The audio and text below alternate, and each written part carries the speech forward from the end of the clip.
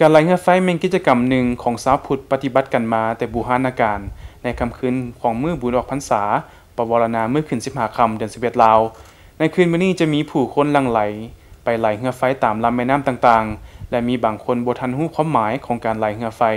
มื้อนี้ทีมข่าวของพวกเราได้นำเอาความหมายของการไหลเรือไฟมาฝากคนสมัยใหม่ให้รู้เว้าเรื่องการไหลเรือไฟ สื้อว่าหลายคนอาจจะฮู้ที่ไปที่มาและฮู้ความหมายดีเกี่ยวกับการไปไหลเรือไฟแนวใดก็ตาม คนในสมัยนี้บางคนก็ไปไหลตามกระแสนิยม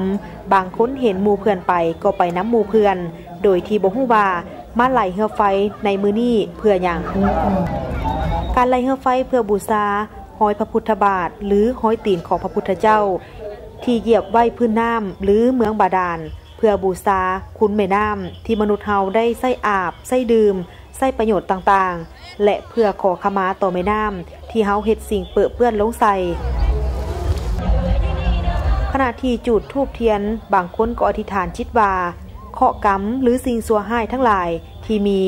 ขอให้มดเสี่ยงหายไป หรือลองร้อยไป พร้อมกับเหือไฟนี่เทิน บางคนก็ตั้งคำอธิษฐานว่า ของที่บริจาคใส่เหือไฟนี่ขอให้มีความเจริญหงเฮือง เหมือนดังแสงสว่างที่ใต้บูซานี่เหือไฟเมนเหือที่เฮ็ดด้วยทอนกล้วยหรือไม่ยาวตามขนาดความต้องการ และใต้ให้แสงสว่าง เอิ้นว่าเหือไฟ นิยมกันไปไหลในมือขึ้น15คำเดือน11ลาว เวลาประมาณ19โมงหา20โมง